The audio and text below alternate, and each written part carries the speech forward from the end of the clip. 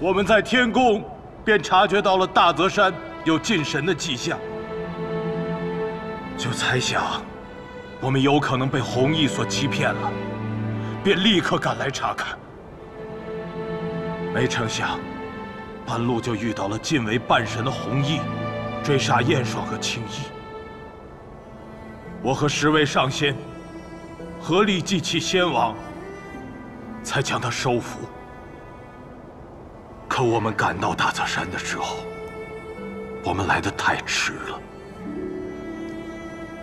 仙善长教，仙主仙村，还有大泽山所有人都没能救下。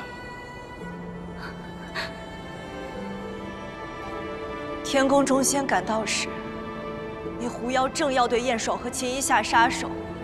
要不是大家赶到的及时，燕爽和秦怡早都已经没命了。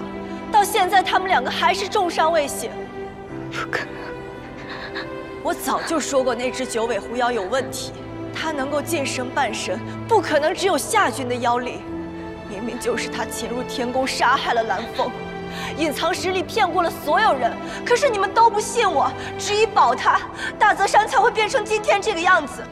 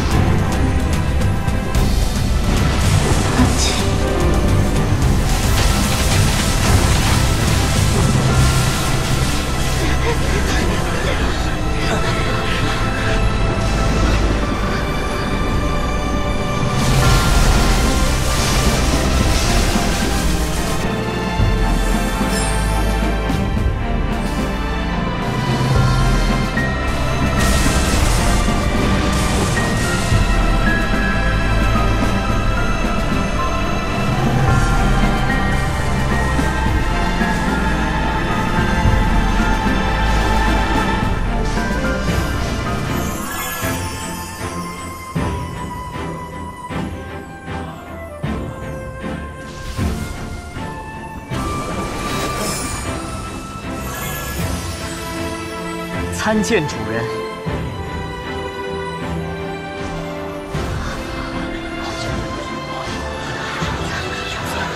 混沌之力，他是。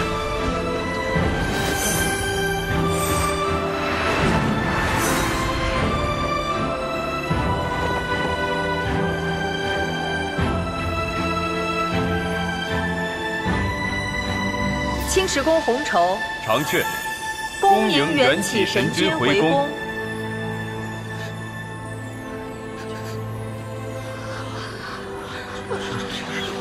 以何真神？地卷真神之子，元气真神。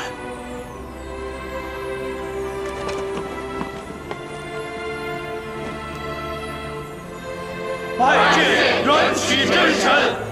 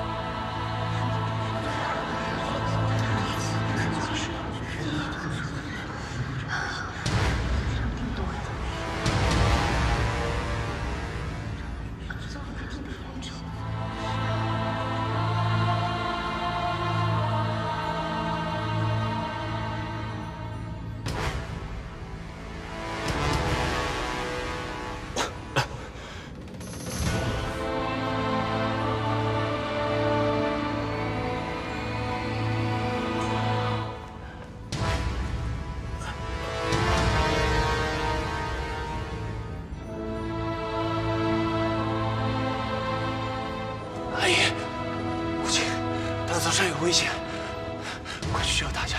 快，晚了就来不及了！快，不要再演戏了。大泽山已经被你毁得寸草不生。大泽山已经……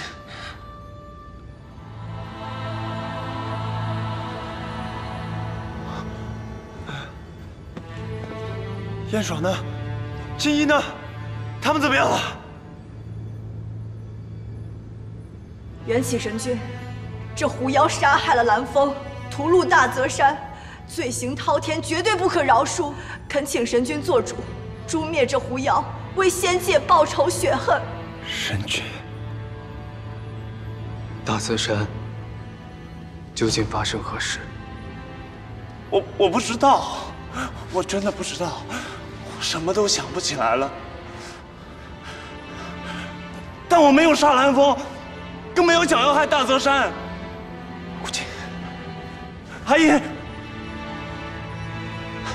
你们相信我？放肆！你眼前没有顾青，只有神君大人。你休想用旧情蒙混过关。这是天界观世镜所及，看你还有何话可说？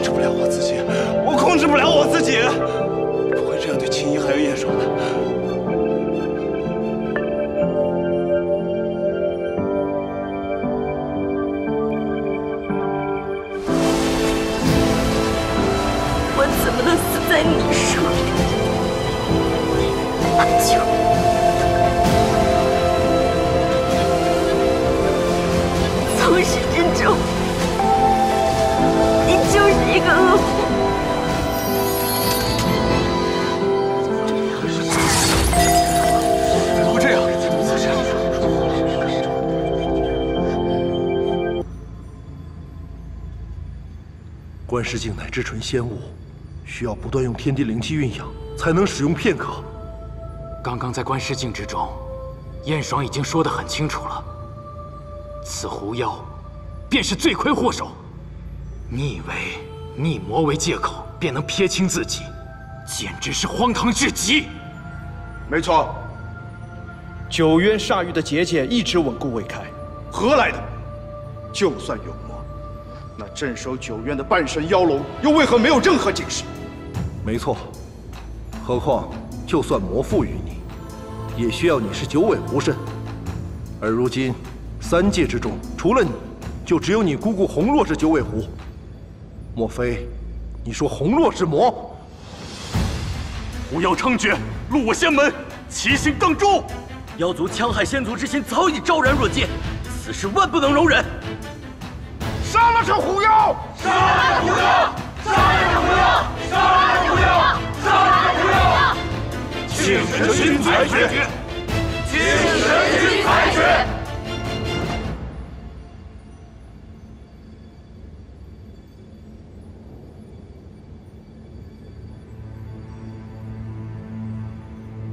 若是我没有离开大泽山，或许还能阻止这一切。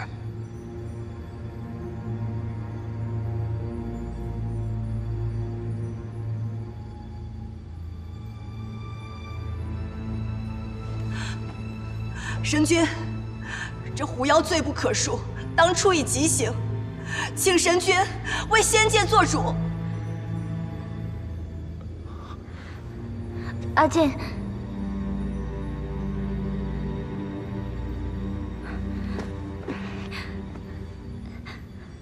神君，沈神君，此事尚未理清，不如等秦一和燕霜醒来之后，我们再做定夺。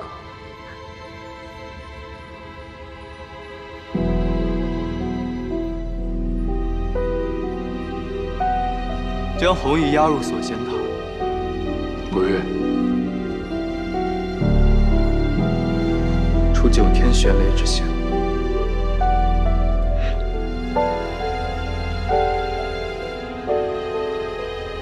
大泽山总归是毁在他手里。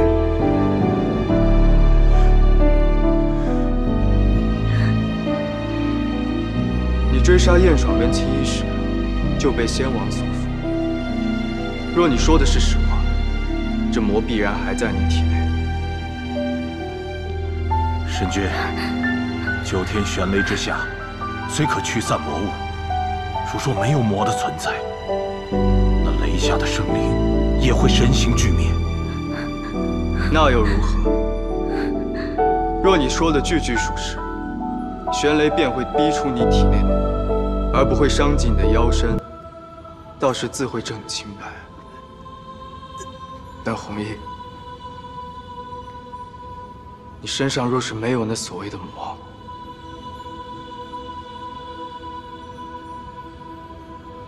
那就为你的罪孽偿命。